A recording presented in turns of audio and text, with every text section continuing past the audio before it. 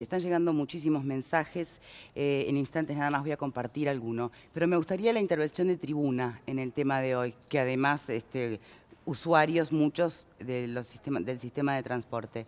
A ver, hoy no quiere hablar nadie, se están pasando todos el micrófono, ¿qué pasó, Martín? En realidad, eh, primero que con respecto al paro de hoy, eh, he visto algunas cooperativas en la calle, también la sorpresa de cuando salí encontrarme con que no había la misma frecuencia de siempre. La, pregunta es, eh, ¿la resolución del paro eh, se toma en un horario en el que a veces eh, complica a los, a los trabajadores? ¿Eso, ¿Eso se tiene en cuenta cuando se, cuando se hace? Es decir, tomarlo, tomar la resolución en un horario en el cual por lo menos nos podemos enterar para tomar las precauciones para poder salir sabiendo lo que nos vamos a encontrar el otro día. Sí, se toma en cuenta. Eh, sin ninguna duda. Ayer, por ejemplo, hicimos los máximos esfuerzos, nos fuimos del Ministerio de Trabajo alrededor de las 8 de la noche, eh, intentando en todo momento lograr la solución eh, que permitiera al menos un día más de plazo para poder seguir negociando, buscando todas las opciones posibles que se nos ocurrieron a todos los que, los que estábamos allí. Y salimos de ahí inmediatamente hacia una asamblea con los trabajadores de RENCOP para anunciar lo, lo que nos estaba pasando. Y en ese momento eh, ante la imposibilidad de cambiar esa situación realmente dramática, resolvimos el paro sobre las 10 de la noche. Tratamos de avisarle a todo el mundo, fue difícil hasta planteárselo a nuestros propios compañeros. Hoy en la madrugada muchos de nuestros compañeros llegaban a trabajar a las 3, 4 de la mañana sin saber que había paro. Se daban vuelta y se iban. Pero... Marrero, eh, y a todos aquí presentes, saben que me, acaban de decir por, de producción que está en línea, que llamó porque estaba mirando el programa y quería decir algo. Payares, un ex fiscal de Reincop, que apunta las baterías a la gestión. Vamos a ver qué es exactamente lo que tiene para decir. ¿Me escucha bien? Sí, sí, ¿qué tal? ¿Cómo está? Muy bien, gracias. ¿Qué quiere agregar? Eh, que primero quiero reconocer la gestión que está haciendo Marrero. Ah. Este, yo soy compañero de, Marrero, yo trabajo en COE también. Eh, trabajé casi 8 o 9 años en, en Rencop, este, y, conozco algo de temas, más conozco más este, de Rencop que de Coet. Em, eh, acá hay algo que no se está hablando, este, queridísima amiga. Acá eh, hay un problema muy serio, muy serio de gestión arrastrado por muchos años. Acá hay culpables, acá hay culpables de una mala gestión, advertida por años, por al menos cuatro años, por una comisión fiscal este, que les advirtió en cada asamblea, eh, ustedes saben que el cooperativismo se maneja, eh, el soberano en la cooperativa es, la asamblea de socios, de la, necesidad de una reestructura y que las cosas venían muy mal, muy mal. ¿Quién se oponía a, ese planteo de reestructura? Ah, había directivos que se oponían a la reestructura, había directivos que se oponían a la reestructura. Yo, este, eh, pasaron realmente cosas muy, muy, muy, muy, muy fieras, muy, muy, muy, muy embromadas dentro de, la empresa, eh, que se trató de tapar muchas veces por, una, por mayoría con los consejos directivos. Y quiero salvar a dos o tres directivos que, lucharon este, denodadamente para esa reestructura. Rencop es una empresa, una empresa como una fábrica de zapatos también, solamente que es una cooperativa. Y eso significa Marrero lo sabe muy bien, una institución, una institución, la verdad, compañero. Eh, una cooperativa es una institución porque busca nada más que salvar sus gastos y que sus obreros, eh, eh, nada más que suplir las necesidades laborales y suplir este, los sueldos y las obligaciones con los socios. somos trabajadores. Y, ustedes me dirán, pero son guardas y, y, choferes los que están en el consejo directivo. Sí, pero hay, hay abogados, había, abogados y contadores que nos advirtieron también y que la Comisión Fiscal, junto con esos abogados y contadores, este, advirtieron de esa situación por, por largo de, años. ¿Una reestructura de, qué tipo era la que planteaban? darle la boca a esos fiscales que le advirtieron, informaron a la masa social este, sobre la necesidad de una reestructura en, en, en Rencop. Bien, ¿qué, tipo de reestructura estamos, eh, se, planteaba? Eh, y fundamentalmente... ¿Dejar de ser cooperativa? no, no, no. Yo soy un gran defensor de la del cooperativismo. Eh, eh, hay cooperativas en Uruguay que funcionan perfectamente bien. Mismo yo trabajo en una cooperativa que, hay otro ambiente laboral. No hay un ambiente laboral de guerra, porque en Reicop se vivía un ambiente laboral de guerra. Por, sobre todo con aquellos compañeros que no pensaban como la mayoría de, eh, como pensaban este, la, mayoría en el consejo directivo. Este, eh, las listas minoritarias, este, Pero a ver, usted está incluso compañeros sindicalistas, con perdón, sí.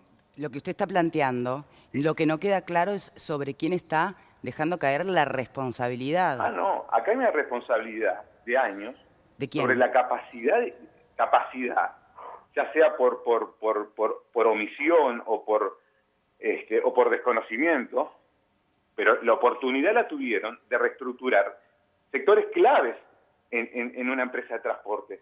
Pero el pulmón de una empresa de transporte es el taller. Y el taller de Reincop.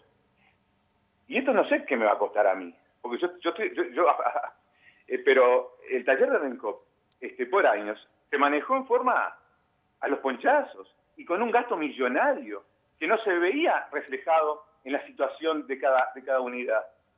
Eh, eh, oportunidades de, de, funcionarnos eh, hemos tenido a lo largo de muchos años y la comisión la comisión fiscal de Reincop este, que con la cual yo integré, le advirtió la necesidad de fusionarnos.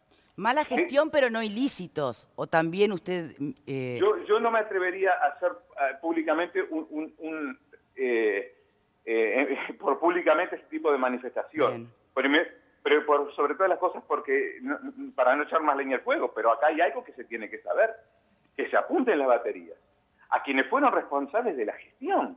Acá hay una, una gestión que no este, que no tuvo acorde este, a la altura de, de, las necesidades de la empresa y, y, de, los acontecimientos.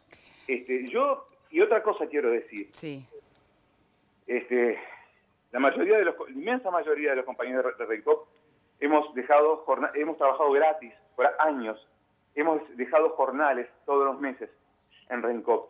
La inmensa mayoría de los compañeros de Rencop es gente que, que ha, dejado todo, todo para que saliera adelante. Y si, y, si, y si la empresa salió adelante y pudo subsistir hasta ahora, fue por la inmensa voluntad de la gente de Rencop, no de la mayoría a la que usted hace referencia. Y otra cosita más quiero decir. La, la, que, ahora eh, Rencop tiene 3,9 socios por coche. El menor peso, el menor peso frente a la productividad de una unidad, incluso este, eh, frente eh, comparado con, con UCOT, la otra cooperativa, y con COET. Es decir, nosotros teníamos 3,9, es decir, que no va a ser un peso. ¿Qué, ¿Qué quiero decir, compañeros? ¿Qué quiero decir a los compañeros sindicalistas, los compañeros del gremio de Scott?